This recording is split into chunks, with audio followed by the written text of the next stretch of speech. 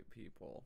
Notice on the very bottom right here, score, enhance signs. Enter a URL for an image or a GIF, like Imgur link, and a signs edit box to display the image on the sign. Re-edit to change it. I'm going to show you how to do this. Continue.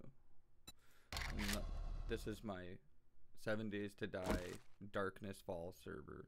The alpha is 20.6 and it's running Darkness Falls 4.04.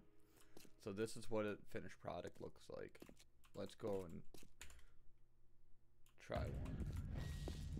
Alright, so first things first. Get your signs out.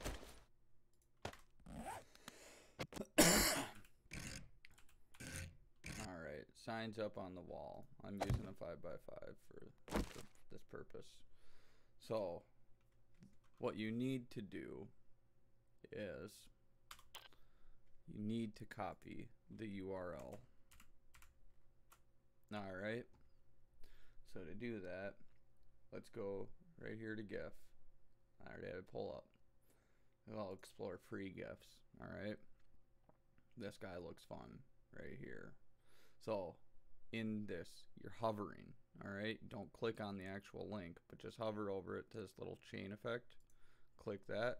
Link copied to clipboard. All right. You're gonna get these. Now, go into here. Walk up, E to edit, Control V. Close. Simple enough. now, let's say you go back in and you want to change it to a new one, you can't do that. All right. But you can delete it and you can put something in there like welcome.